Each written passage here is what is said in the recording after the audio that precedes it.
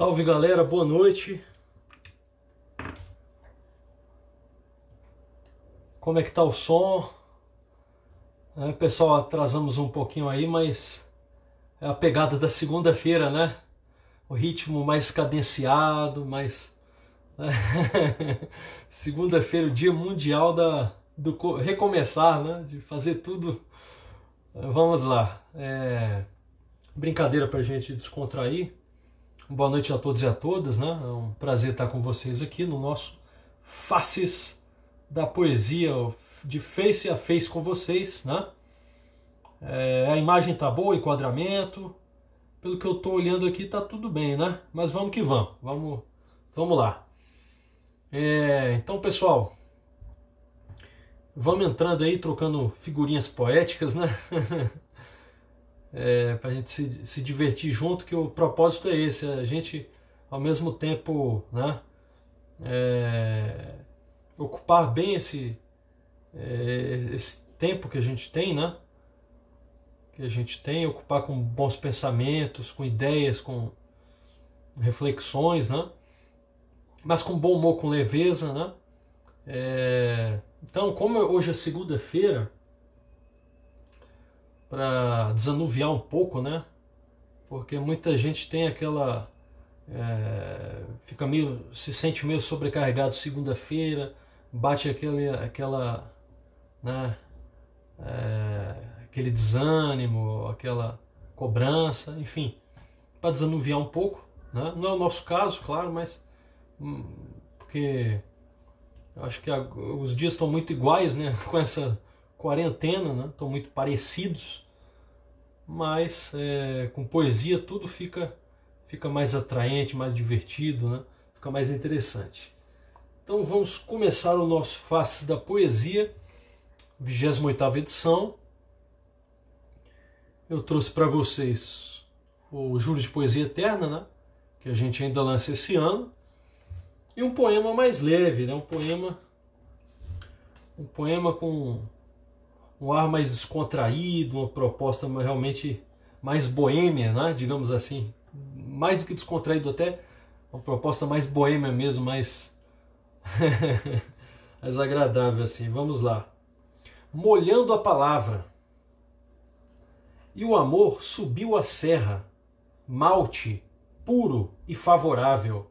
Sabe ser cremosa e bela, aroma doce, inigualável um malandro de boa cepa, exigente e inteligível, pede logo uma serpa e não fica arrependido. Boa noite, Grace Maia, muito boa sua presença aqui, muito feliz. Alci Lucas, Mauro já tinha falado, grande Elias Antunes, grande escritor, muito feliz, muito honrado com a presença de vocês. Vamos lá.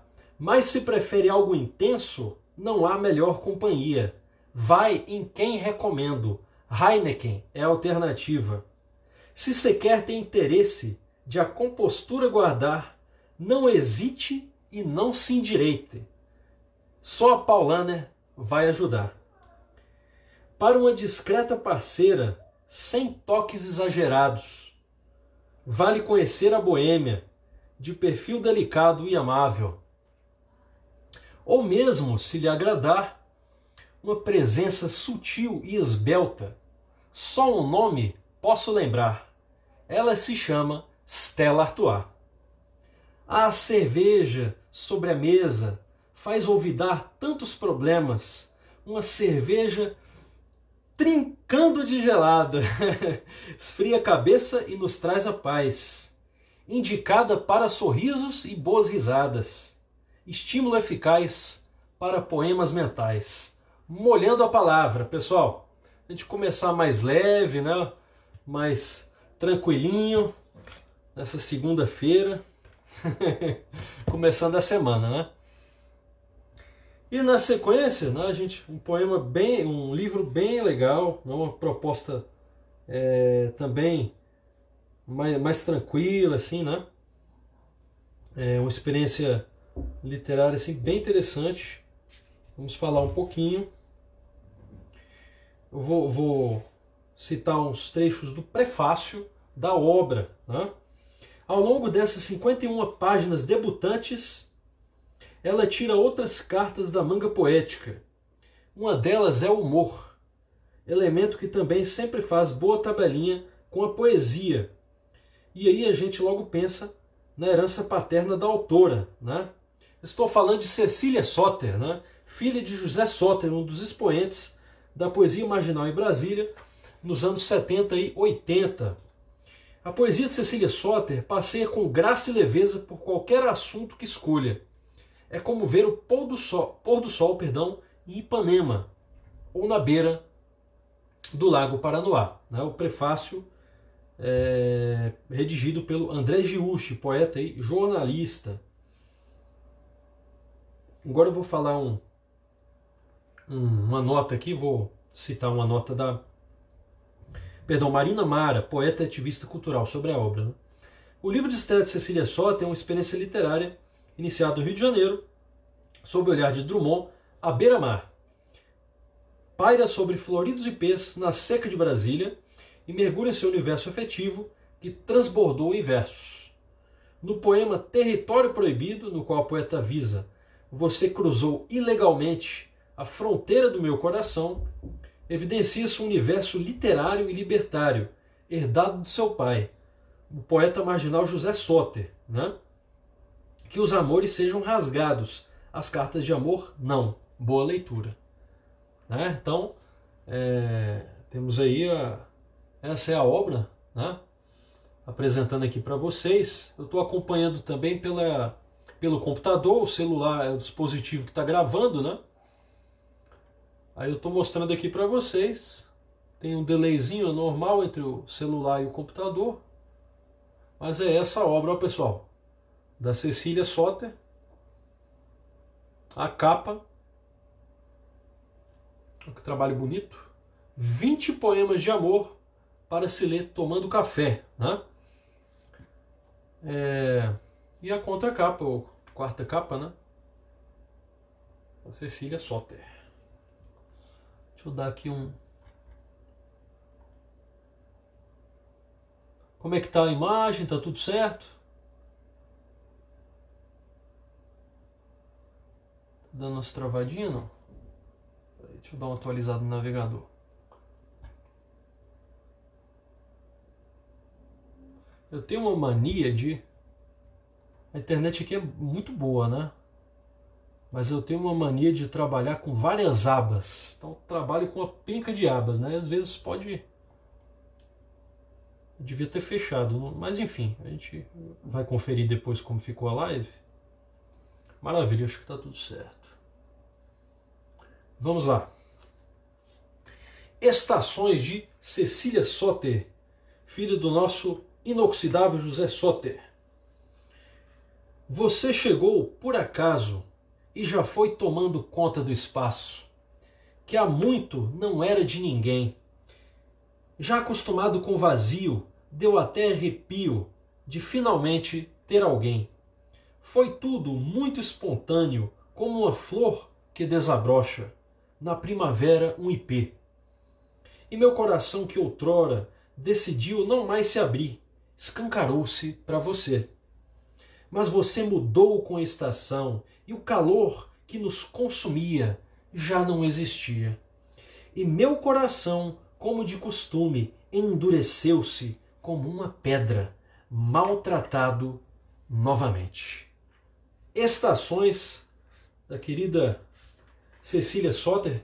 Olha que trabalho delicado, pessoal. Em cada minúcia, em cada detalhe, tem ilustrações, cada poema tem né, ilustrações. Vejam, o poema que recitamos, Estações, né? com a sua ilustração. Muito interessante. Aí temos cama vazia também, ó. olha que bonito. É bem legal mesmo, trabalho delicado, pensado com esmero em cada detalhe. Né? uma estreia alvissareira da, da Cecília Soter no mundo da poesia. Né? Que venham os próximos livros, né? pela Seminha Edições, né, nesse esse projeto tão, tão bacana encampado pelo Soter, né, de poeta editor, né? Então várias vale a pena, vamos conhecer, pessoal, os, autores, autores que a gente cita aqui, tem um trabalho muito legal, com, vale muito a pena conhecer, interagir nas redes sociais, né? O Soter, por exemplo, que é o pai da Cecília, ele está coordenando um sarau virtual, a Poesia Liberta, e salvo engano está na Grande Márcio Sodré, meu ex-aluno, muito bem-vindo, cara, bem-vindo, chama, chama a galera aí, a gente está fazendo, de segunda a sexta tem uma live de poesia apresentando autores, autores da cidade, né? É, a gente faz esse trabalho aí interativo com o pessoal, então quiser convidar seus pais, seus, seus parentes, colegas, advogados, né? Chama o pessoal aí que vai ser muito bem recebido, né? Aqui cabe todo mundo, né? No cantinho aqui cabe todo mundo. Então é isso, pessoal. São as nossas os nossos tributos poéticos de hoje, né? Júri de Poesia Eterna, de minha autoria, o poema Molhando a Palavra, e Estações, da Cecília Soter, não é? A, da obra 20 poemas para se ler tomando café. Por hoje é só, mas não fiquem tristes que amanhã tem mais novos autores, novos, né? novas coisas sempre. A gente é sempre imbuído dessa, desse propósito de, de trazer coisas legais, reflexões. Né? É, outro dia homenageamos o dia da, da, da literatura brasileira, né? da, é, a homenagem a Brasília também no seu aniversário, também fizemos uma sessão de várias sessões, né, homenageando Brasília com poetas, né, como se, pela poesia, é, visitando os cartões postais da cidade, as suas, a sua cultura, as suas referências, né? Então é ah, sim, é, a gente gosta de fazer isso também, anunciar a, a, os projetos dos parceiros, né? Então aquele pausa dos reclames, né? publicidade aí, uma pequena publicidade. É, Quinta-feira, às 21h30, no Instagram da Nilva, Nilva Souza, do Celeiro Literário, no Instagram dela, que é Sinta Minha Poesia. Vai ter o sarau erótico, viu? É, Quintas Intenções, o nome, bem interessante. Às 21h30, quem quiser aparecer lá, ela vai dividir a tela, é, vai chamando as pessoas conforme a ordem de chegada, né? E aí, quem quiser prestigiar, aparece lá. Sinta minha poesia no Instagram que ela vai chamando para dividir a tela e vocês recitarem seus poemas, etc. Né? É, também temos outra iniciativa todo dia, é a Rádio Letras, né? vale a pena, radioletras.com, é um programa que tem contos, crônicas, poemas, né? música, muito legal. Né? Ó, bem lembrado aí pelo Mauro, amanhã tem completa 26 anos sem o Mário Quintana, né? Também uma, uma data é, que merece, merece ser refletida, né? Um grande poeta, um ícone da nossa literatura, da literatura nacional. É, temos também, é, em breve, deve ser veiculado no, nas, deve ser veiculado nas redes sociais. Não é uma homenagem ao dia que hoje é o dia mundial da língua portuguesa, se não me engano é isso, e o Sindicato dos Escritores do DF, né, presidido pelo querido Marcos Linhares, vai fazer uma homenagem, fiquem atentos às redes sociais, né, eu participei também dessa, dessa empreitada e tal, então é, vários poetas aí fazendo a sua reverência é, na nossa língua, né, língua tão tão rica que é a língua portuguesa. Né? Então é isso, essa pausa brevíssima aí para nossa publicidade, os nossos reclames. Né? Agradeço aos amigos e amigas por estarem nos prestigiando. E, pra, como eu não, não canso de dizer, né? para vocês, pessoal, eu tiro o meu chapéu. é isso, pessoal. Muito obrigado pelo carinho. Milhões de curtidas, milhões de joinhas para vocês e é, aguardo aí as interações, comentários, né? Quem quiser sugerir aí é, obras, autores, né? A gente é, aceita de bom grado. Fiz novas aquisições também, prestigiando, não é, prestigiando revelações aí da, da literatura do DF. Estou é, embrenhado nesse objetivo aí de, de fazer esse trabalho voltado mesmo a voltado mesmo a, a literatura, né? revelando nomes aí, né? nomes que estão começando, nomes já consagrados, não importa, o importante é, é, a gente manter a literatura em voga, em evidência, né? que a literatura é, é uma marca de identidade, né? É uma marca forte de identidade, de pertencimento de uma nação. Né? Um país se faz com homens né? e livros, com seres humanos, né?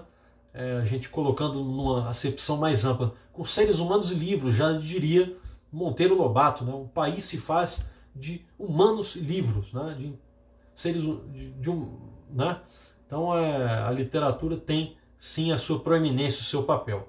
Muito obrigado, pessoal. Tirando o chapéu para vocês. E amanhã tem mais. Valeu, gente.